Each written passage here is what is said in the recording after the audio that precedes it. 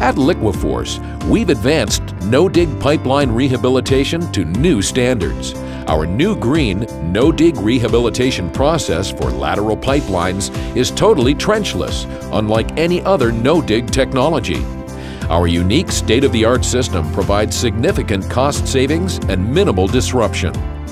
Similar to non-invasive robotic surgery, our new state-of-the-art lateral pipeline rehabilitation process cleans the existing lateral connection, measures it for a new custom-made replacement liner, and installs the new liner all from access through the existing manhole to the mainline sewer connection.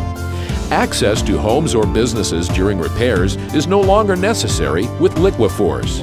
And our new liner is guaranteed to meet or exceed new pipe standards for durability and lifespan.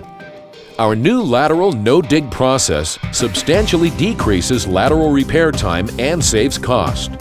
Once our preparation crew arrives on the project site, specialized video equipment is launched from our state-of-the-art robotic truck studio through the existing manhole that accesses the mainline sewer to determine the level of pipeline deterioration.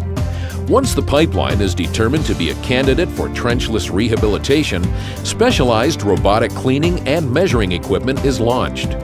The existing pipeline is cleaned and measured for a new custom-made liner that fits the exact dimensions and diameter of the existing pipeline. Pipe measurements are instantly relayed to our in-house liner facility where the process begins for a new custom-made liner to be manufactured. Our just-in-time liner delivery to the job site decreases repair time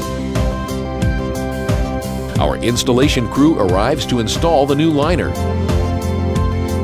This process involves the inversion of a resin-saturated felt liner into the existing pipeline. The inverted liner is cured and the end result is a new, seamless pipeline inside the original host pipe.